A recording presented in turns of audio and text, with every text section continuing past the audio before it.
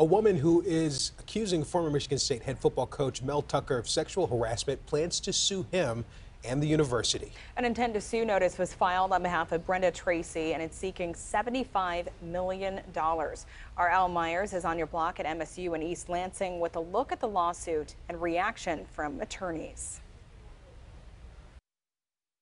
It was a Title IX complaint that rocked Michigan football. Brenda Tracy, a well known and well respected anti sexual violence activist, filed a Title IX complaint after working with former head football coach Mel Tucker and his team back in 2021. Tucker was let go by the university after an investigation into allegations of inappropriate sexual comments and a disturbing phone call made by Tucker to Tracy. He was an employee of MSU's. And because he was an employee of MSU's, he had a duty to conduct himself appropriately during the normal course and scope of his employment.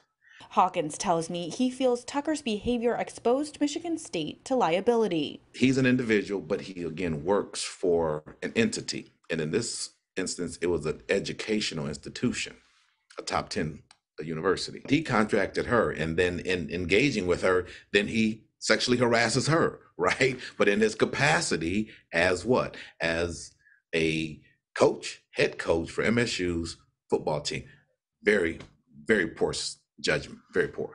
Thursday's court filing is the first step towards a lawsuit against Michigan State for a number of complaints, like breach of contract, infliction of emotional distress, and invasion of privacy. Certainly, there's some explosive allegations here the lawyer eh, uh, for uh, Brenda Tracy did what she was supposed to do, which is you got to include everything. Later decisions can be made on what exact claims will be going forward.